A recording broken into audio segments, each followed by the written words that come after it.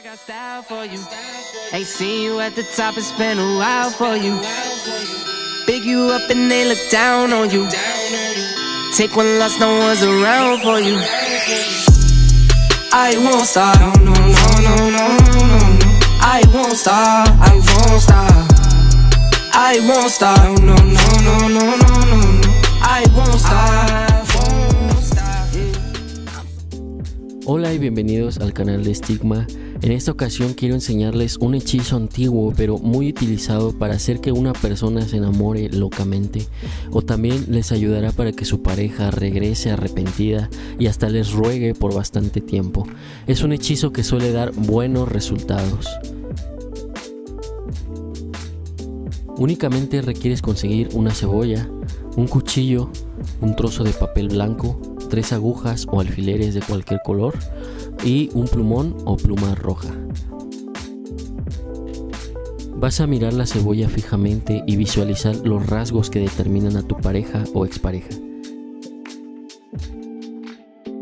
Luego vas a hacer un orificio pequeño en la cebolla y vas a conservar este pedazo.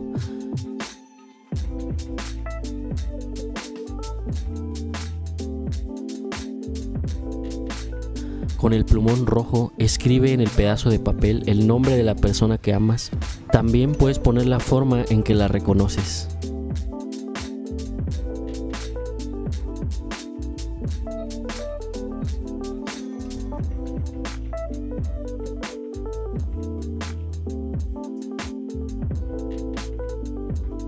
Dobla varias veces el papel tanto como puedas hasta que quede muy chiquito. Mete el papel doblado en el hueco que hiciste en la cebolla y tápalo con el trozo que cortaste y guardaste.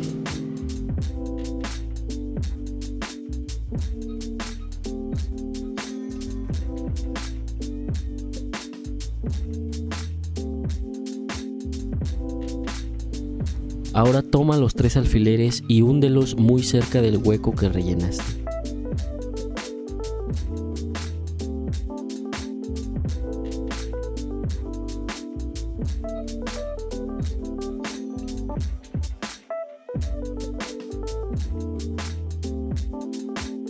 Seguidamente vas a repetir el siguiente conjuro tres veces.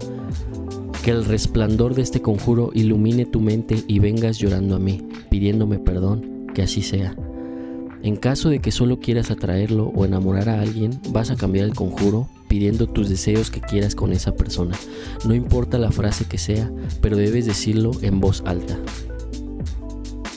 Ya para finalizar, vas a guardarlo en un lugar oscuro hasta que veas los resultados.